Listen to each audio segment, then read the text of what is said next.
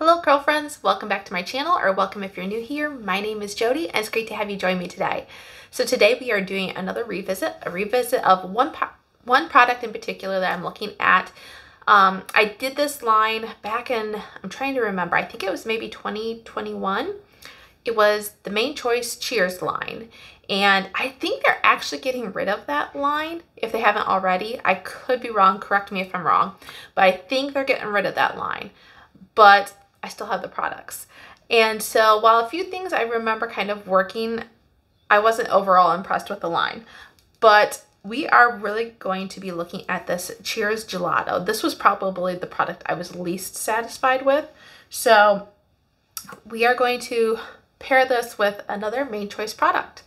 And I will say I have done this product combo before a couple times. I've always liked my results. I don't remember what the weather conditions were when I did it, but um, we're having pretty mild conditions today. So hopefully this will turn out. I'm just going to make sure, I'm just gonna make sure my hair is pretty wet here.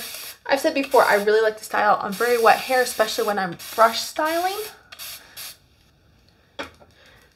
Okay, I bet you're wondering what the other product is I'm going to pair it with, and it is the Ancient Egyptian Leave-In Lotion. So these two are going together, and hopefully I get a good combo. Like I said, I've done this before, and it's worked out for me. So if it doesn't work out today, I'm still not writing it off as, a, as not working because I've got more success with it than I have not.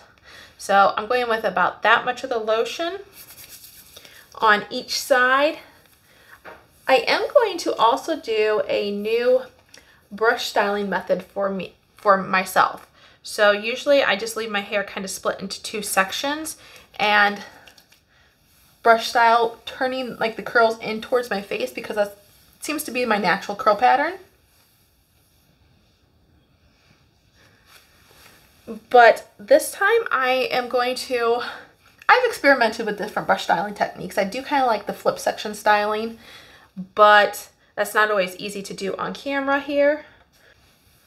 Okay, first of all, I'm just brushing this product, the lotion, through. But I saw this brush styling technique by Amanda um, Mel's sister.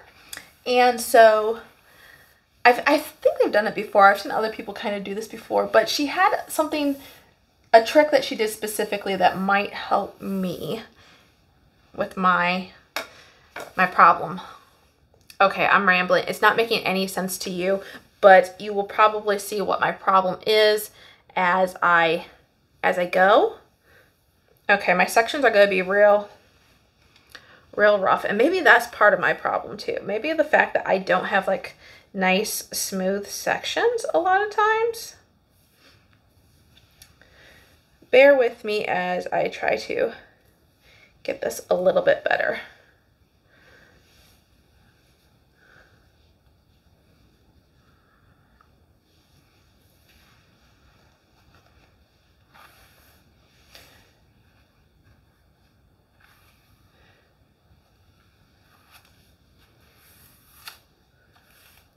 And I just gave myself a knot in doing that.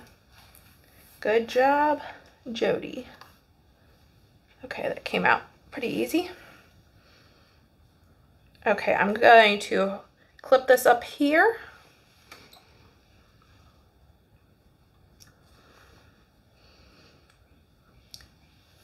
And this is going to be a problem here, these little pieces. Okay. Okay, now what I'm going to try to do is kind of brush style as I have done in the past before, just with this section done up and we'll do this differently. So I'm going to speed through this part. This isn't really going to be all that different for me.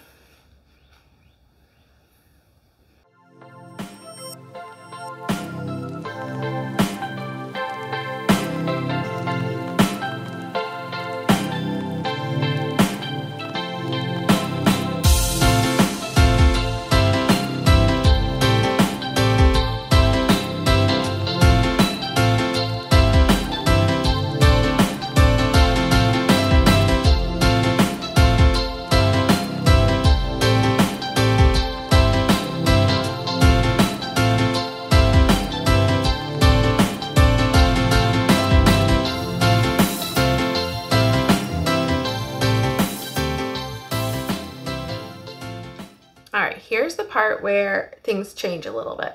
I'm going to try to do this herringbone technique that they do. I don't know how well I'll be at it because like I said, I'm not good at like keeping good parts, but I saw Amanda clip her hair and this seemed like it might be a game changer for me because my hair, the trouble I always have is my hair does not like to stay, um, like I'm always grabbing sections that I'm not intending to grab, sections that I've already styled or sections that haven't been styled but are too large. My hair just kind of tries to, the brush snags areas that I don't want to snag. Sorry, reaching for my brush here. And so, will this work? I don't know. I don't know at all. And I'm just going to use my pinky and try to get a smaller section.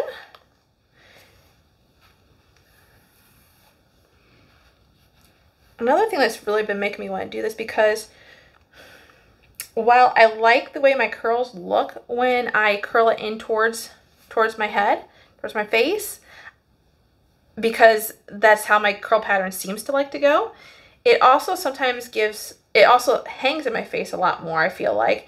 And it also sometimes seems to give, um, what, what am I trying to say here? Lost my thought.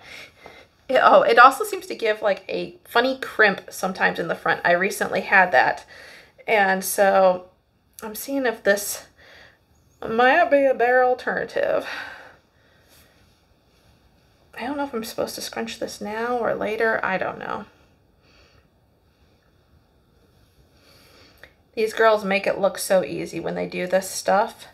Sorry, by the way, too, that I'm not looking at the camera really at all while I'm doing this. I am focusing. All right, I'm going to fast forward through the rest of this.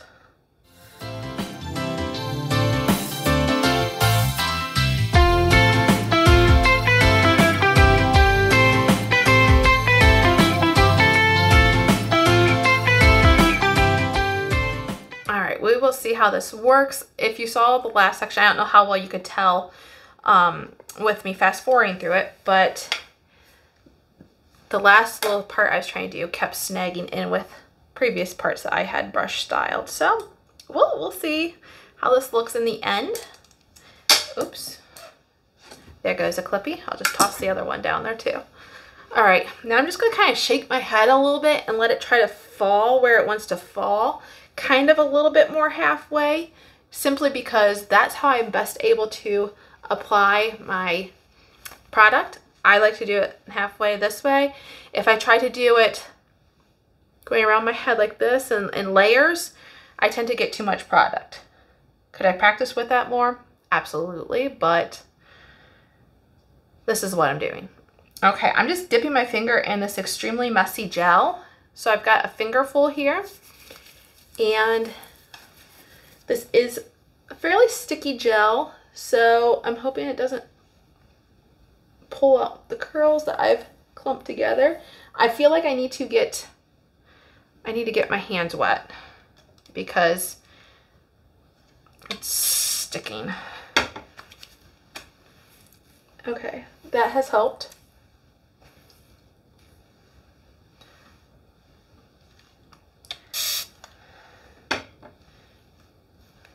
All right, doing the same thing, I'm going in with another fingerful, plus I got some water in my hands, so that does help distribute it better. And then I'm going to flip upside down and do the same thing as well.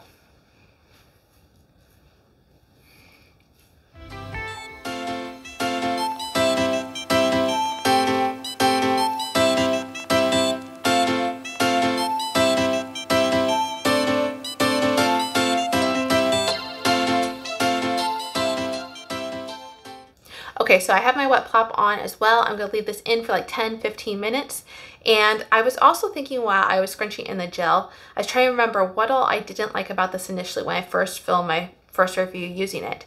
And one thing is definitely like the consistency and the smell isn't my favorite either. It does smell like beer, which it's not the worst parts of the beer, but I just don't like the scent. But this consistency is very liquidy. I can't really tip it to show you, but it's got like this snotty like I don't even know how to describe it, but you could see. See what I mean? Okay. And that's also really extremely extremely sticky. I can't I can't talk. But um, I have some other gels that kind of gels or custards that kind of remind me of this in a way, but not the same level of the, like the stickiness to it. So I had to apply a lot of water to my hands. I could have probably applied more to my hair and it would have had a similar effect by then, but I have to apply a lot of water to my hands to make sure that the product is is not like my hands aren't pulling the curl out and just frizzing it up when applying. So application is not fun but I know a lot of people really like this gel. And so I struggled with it when using it. Like I said, I'm, it's been a while since I've done that video, the initial video. I don't remember everything, but I do feel like I remember my hair just like it frizzed up and felt kind of gunky. I don't feel like I had the right product underneath. If I remember correctly, I just went in with this gel and the polish because that's what the what the line had and I was doing like a one brand wash day. But as I've said before, I've paired these two products together that we're doing today. I've paired them together before and I've not gotten, obviously I've not gotten those results because I've liked my results before using these two. And so I'm hoping I'm going to get that, but I will be back after I've diffused and we'll see what, what we have. All right, girlfriends, I am back with my hair fully diffused and let's get into what this is looking like and my thoughts on it. So I will say as I was applying this um, gel, I considered that I might be putting too much on and looking at my curls, I think, I think I did. They're just, this is just a little bit more stringy than I like. It, it doesn't look bad. It really doesn't. But I know what this has given me before and it's usually a more kind of a fluffy wash and go. These products don't leave a cast on my hair when I style them and diffuse, but this isn't really giving me like the fluffier look. But I do feel like I have good definition, I or decent definition. Have I had better? Yeah, but it's not bad. It's just, I think I applied too much product. I think that was where I went wrong. So overall, I still like this combo. I can still make this work and it helps me use up a product. Um, let me get you a tour of the back of my hair. So we'll do that.